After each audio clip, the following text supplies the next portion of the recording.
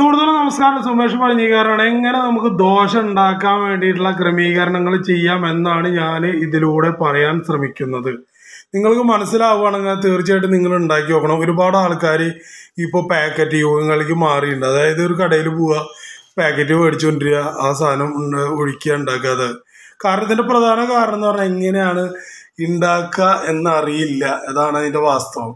എല്ലാവരും വീട്ടിൽ മിക്സി ഉണ്ട് പച്ചരി ഉണ്ട് ഉഴുന്നുണ്ട് പിന്നെ അതുപോലെ തന്നെ ഉലുവ പിന്നെ തലേ ദിവസത്തെ ചോറ് അങ്ങനത്തെ എല്ലാ ഐറ്റംസും ഉണ്ട്. പക്ഷെ ആരും ശ്രമിക്കാറുമില്ല ഉണ്ടാക്കാറുമില്ല ഞാൻ എല്ലാവരുടെ കാര്യം ഇല്ലാട്ടോ പറഞ്ഞത് ഒരു ഭയപ്പെട്ടിരിക്കുന്നവരുണ്ട് ഇത് എങ്ങനെ ഉണ്ടാക്കുക എന്ന് അറിയാത്തവർ അവർക്ക് വേണ്ടിയാണ് ഫ്രീ ആയിട്ടുള്ള ഒരു ക്ലാസ് നിങ്ങളെടുത്തോ ഈ ക്ലാസ് നിങ്ങളിത് ഉണ്ടാക്കുക അപ്പൊ ഈ ചിത്രമൊക്കെ നിങ്ങൾ കണ്ടോ? അതിന്റെ ഇടയിൽ ഞാൻ കുറച്ച് കാര്യങ്ങളൊക്കെ പറഞ്ഞുതരാം. ഒരു ഗ്ലാസ് പച്ചരി എടുക്കുകയാണെങ്കിൽ അര ഗ്ലാസ് ഉഴുന്നെടുക്കുക.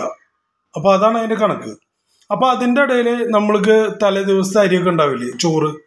ആ ചോറും കുറച്ച് ശകലം മാറ്റി വെക്കുക അതൊക്കെ ആവശ്യത്തിന് ഞാൻ അതിൽ കറക്റ്റായിട്ട് കാണിക്കേണ്ട അത്ര കൊണ്ട് ഇട്ടിട്ടുണ്ട് എന്നുള്ള കാര്യം. ആ ലെവലിൽ കിട്ടാൽ മതി. പിന്നെ ഉലുവ. ഉലുവ ഇട്ടുണ്ടെങ്കിൽ ഒരു പ്രത്യേക ടേസ്റ്റ് ആവുക. അത് നായര ഹോട്ടലിലെ ദോശ എന്നൊക്കെ പറയില്ലേ. അതിനൊക്കെ ടേസ്റ്റ് വരുന്നതെന്ന് പറഞ്ഞ് ഞാൻ ആളോട് ചോദിച്ചപ്പോൾ ഇത് ഇതിന്റെ ഒരു അബദ്ധം പറ്റി.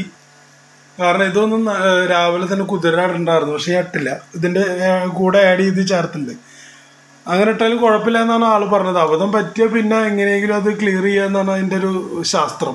രാവിലെ സാധനം കുതിർക്കാൻ വയ്ക്കുക. ഏകദേശം ഒരു പന്ത്രണ്ട് മണിക്കൂർ രാവിലെ ആറു മണിക്ക് ഇട്ടുണ്ടെങ്കിൽ വൈകുന്നേരം ഒരു ആറു മണിയാകുമ്പോൾ അത് എടുത്ത് ഒന്നുകൂടി കഴുകി വൃത്തിയാക്കിയിട്ട് ഈ സാധനം നമ്മൾ അരയ്ക്കാൻ എടുക്കുക. അരയ്ക്കുക നന്നായിട്ട് നന്നായി ലൂസാക്കരുത്. ഒരു മീഡിയ രീതിയിൽ അരച്ചെടുത്തിട്ടുണ്ടെങ്കിൽ നാളെ പിറ്റേ ദിവസം ഒരു കട്ടിയിൽ ഇങ്ങനെ പൊന്തി പൊന്തി പൊന്തി ഇങ്ങനെ നിൽക്കും.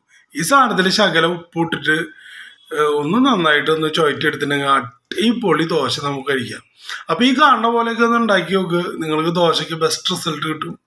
ഇനി പിറ്റേ ദിവസം രാവിലെ അടിപൊളിയായിട്ട് ദോശ ഉണ്ടാക്കാം. സിമ്പിളായിട്ട് അപ്പൊ നിങ്ങളിത് ഉണ്ടാക്കിയിട്ട് ഒന്ന് വിവരനോട് പറയണം. ഇനി ഇതിൽ എന്തെങ്കിലും ഐഡിയകൾ കുറയ്ക്കാനോ കൂട്ടാനോ ഉണ്ടെങ്കിൽ തീർച്ചയായിട്ടും നിങ്ങൾക്ക് പറയാനുള്ള അവകാശമുണ്ട് ആ അവകാശത്തെ ഞാൻ ഒരിക്കലും നിഷേധിക്കില്ല. നിങ്ങൾ പറയുന്നതാണ് എന്റെ പ്രചോദനം. നിങ്ങൾ കാണുന്നതാണ് എന്റെ ഇഷ്ടം. ഓക്കെ നമസ്കാരം. അടുത്ത വീഡിയോ ആയിട്ട് ഉടനെ വരാം.